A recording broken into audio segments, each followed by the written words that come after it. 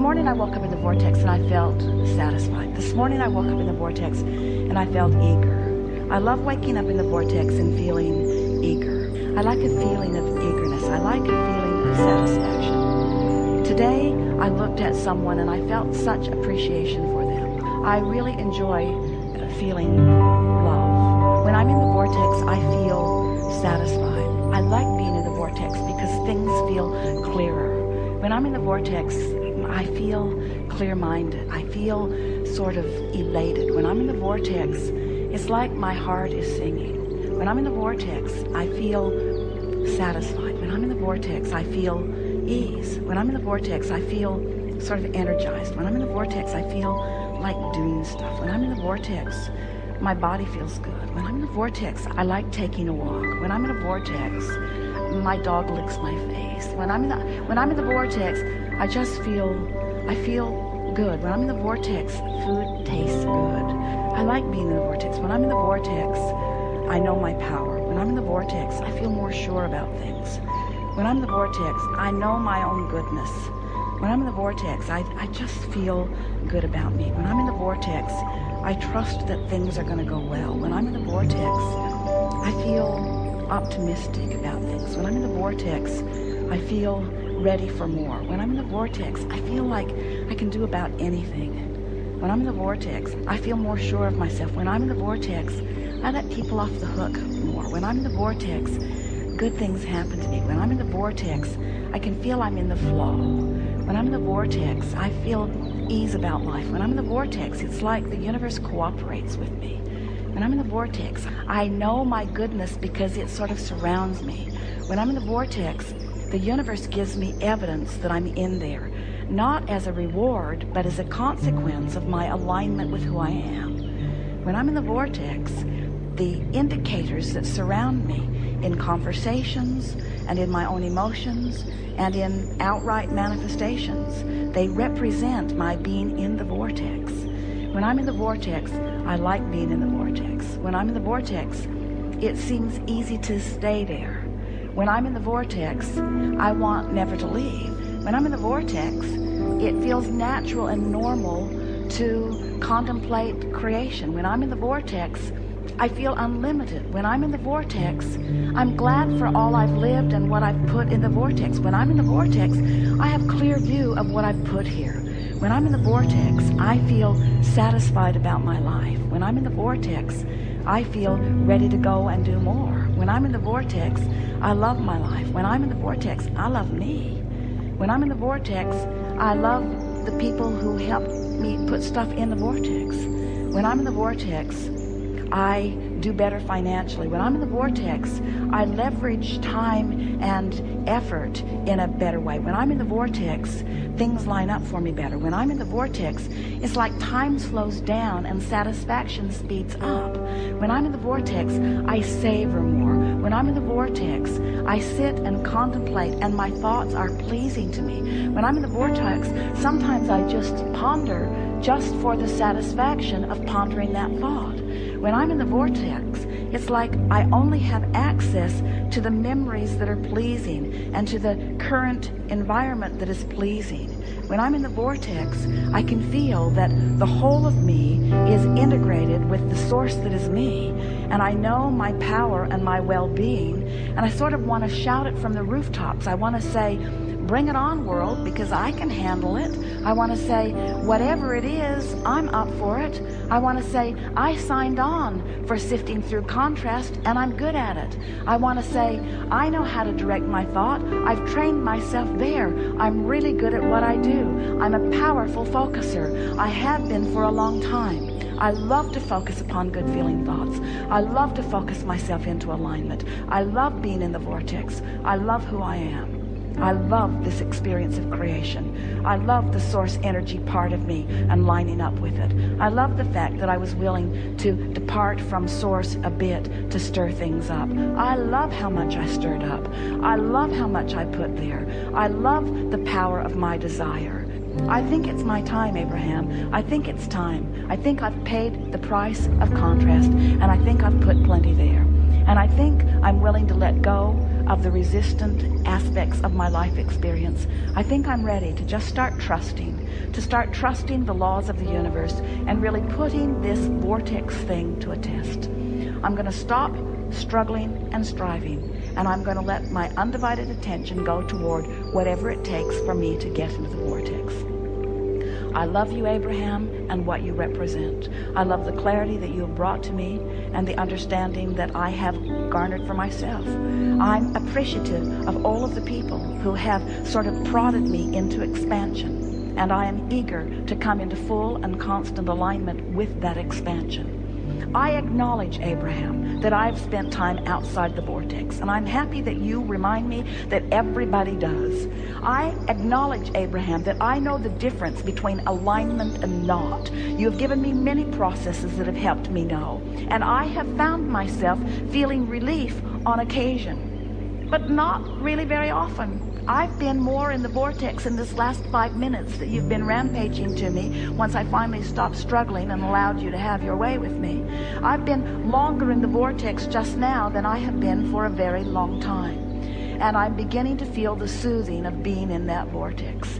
I am beginning to understand the love that you have for me and the love that Source has for me. And I'm beginning to get that taste in my mouth of victory in terms of the things that I've been asking for. I want to announce to everyone listening, to the entire universe who is vibrationally out there somewhere, picking up on pieces of this in some way. I want to announce to everything and everyone who exists that I here now proclaim my determination to release my resistance once and for all. I give up. I give up. I give up. I give up. I give up my control of the uncontrollable. I give up my determination to make things better for others. I give up my attention to things that bother me. I give up my trying so hard. I give up my struggle. I give up my confounding confusion. I give up my excuse for negative emotion. I'm giving up my excuses. I'm giving up my statements of what is not working. I'm giving up. I'm yielding, Abraham. I'm yielding to the truths and to the laws that you've been speaking to me. What I've been doing has been halfway, even though I've been wanting to do it all the way. I've given it more effort than anybody that you know. In all of the people that you have been teaching, I've given it more effort. And in my struggle from outside the vortex, I have not managed what I want. And so now, I see the light a little bit, Abraham. I see why you began depicting a vortex as a vivid reality with a line that I could cross. I'm beginning to understand that your request for me to get into the vortex is the only thing that will ever work for me. I have to let go of all of those pieces because in my interaction with all of those pieces, I just hold myself out and hold myself out and hold myself out. And my frustration is huge when I hold myself out as I'm trying to explain, but I'm only out because of this reality and this reality and this reality. Abraham, I now understand that you were never trying to say to me that those realities didn't exist. You were only trying to say to me that those realities do not serve me when I focus upon them. You've convinced me, Abraham, that it's time for me to tell the story of my empowerment. It's time for me to tell the story of my worthiness. It's time for me to tout the benefit of my knowledge of law of attraction. It's time for me to understand the vortex, whatever in the hell it is, and get into it. It's time for me to begin finding my way, to begin feeling my way. I'm going to feel my way into the vortex, and I'm going to stop thinking my way into the vortex. I'm going to feel my way in. It feels good here. It feels like clarity. It feels like power. It feels like love. It feels like solution. It feels like answers to questions. It feels like something that I've been looking for for a very long time. Abraham, clearly you're in the vortex. You have demonstrated that you're in the vortex. Your words reflect that you're in the vortex. I will not admit that I am in the vortex, but I like the sound of the way you sounded from inside the vortex. And it will be my eternal quest to give up whatever I have to give up in order to spend more of my time in the vortex. It's my time. It's my time to reap the benefit of the work I've done.